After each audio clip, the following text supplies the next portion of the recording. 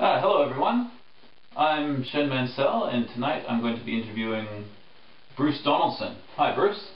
G'day Shen, how are you? Not too bad. Thanks for coming along to your house where I'm interviewing you. It's alright. Bruce is the club president of our of the Toastmasters club that I'm a member of, Oaklands Toastmasters. And tonight I'm going to be talking to him about his experience being the club president. So Bruce, when did you what what made you decide to run for president or to be the president, to volunteer? Well, I didn't run for the presidency, unfortunately, so I didn't win a great campaign, but what I did get is asked one night, would you like to be the president?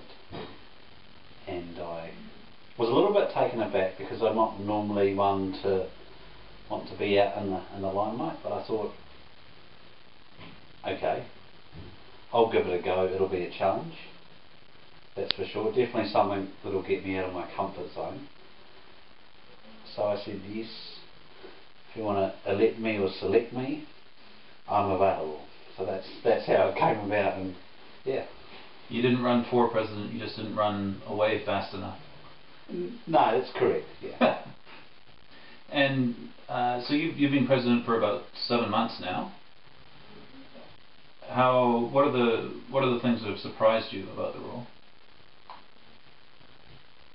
What surprised me about the role, probably the most, is you do get a level of enjoyment where you see people develop and grow in what they're doing.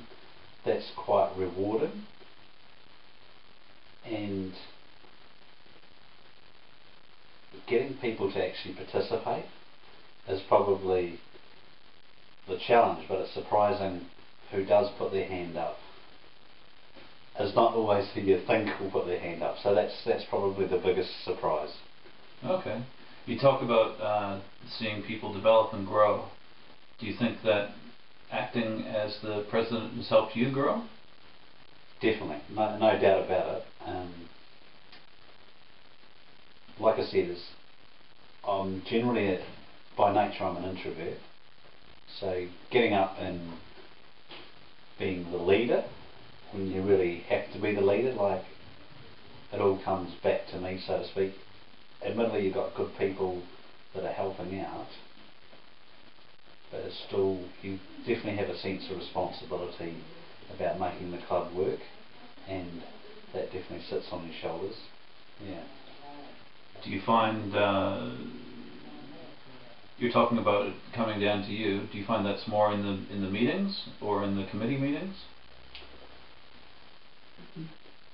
I feel it doesn't come down to me because I've got a good team of people, but there's a sense that it comes down to me. Like when I took on the role of president, I definitely had a good think about it because you were the, the head person, and that's part of the role is to be the head person, and not that I necessarily run around picking up the pieces or picking up the gaps. You're just keeping your eye across everyone to see what's going on, and so there's more a sense that it comes down to me, and I do have a sense of responsibility that as as the president or the front man, I do want to see the club do well. so yeah, there is a sense of responsibility. Yeah. Hmm. hmm. Uh,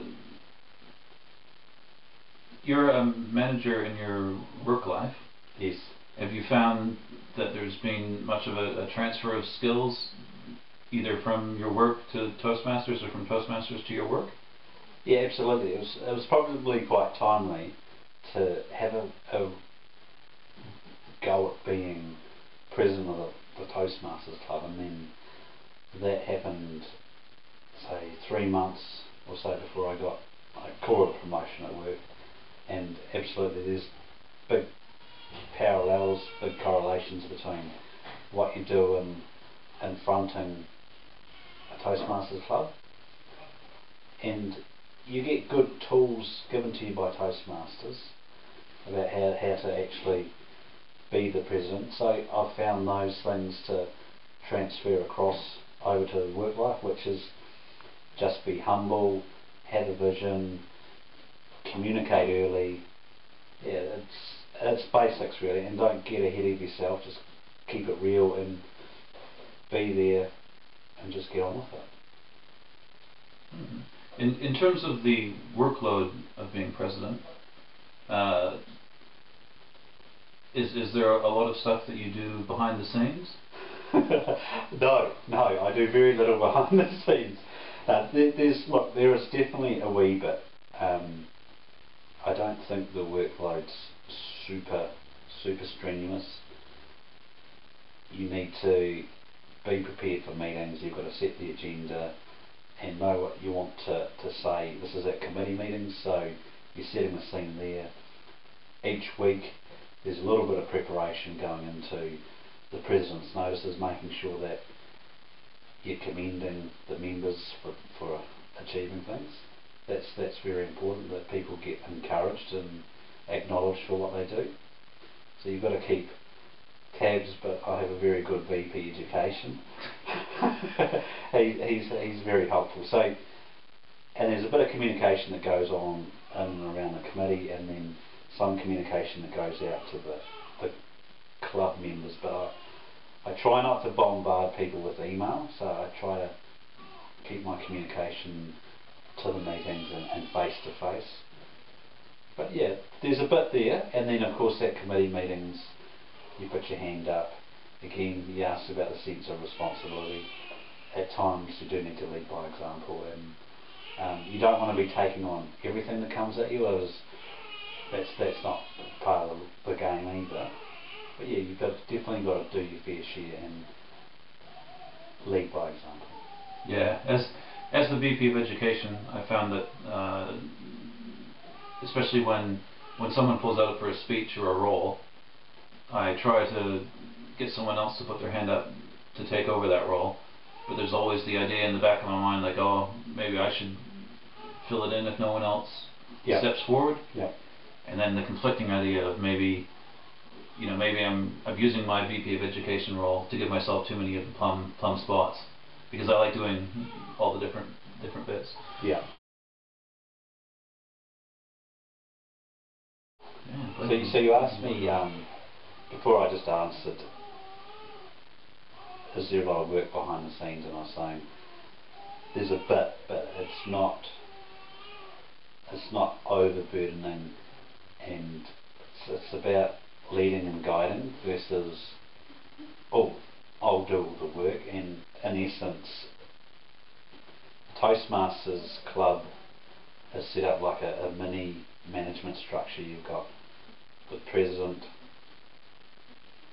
VP Education, who administers the, the training curriculum, VP Membership, VP PR, and then you've got a secretary and a, and a financial officer. So they're your three, sorry not three, but they're about your five departments and ultimately, even for meetings, I forward the agenda on to the secretary and the secretary puts it out to the rest of the committee. So, but it's a good little game, and our club's a small club.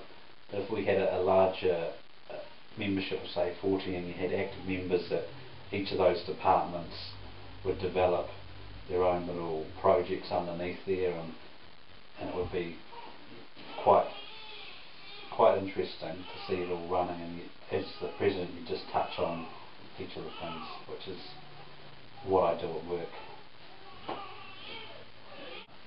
If you had uh, a chance to give a few words of advice to anyone who was thinking about running for president of our club or, or their club, people watching on the on the internet, what would you say to them to encourage them? Give it a go.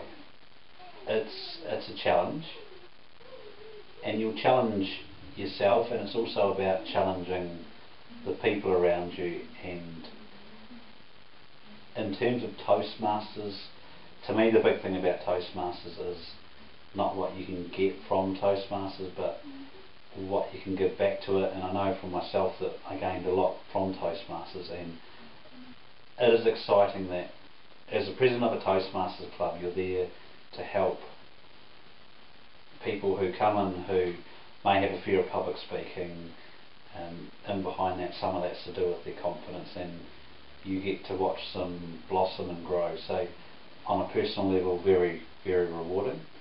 And when it's all you're the, the, the head shirang, it puts it makes it makes it a bit more exciting. Yeah, so give it a go. It's a challenge, but it's also very rewarding. Um, you'll learn a lot. You'll learn a lot about people, and again, it's if you're wanting to develop yourself as a leader, I think big opportunity.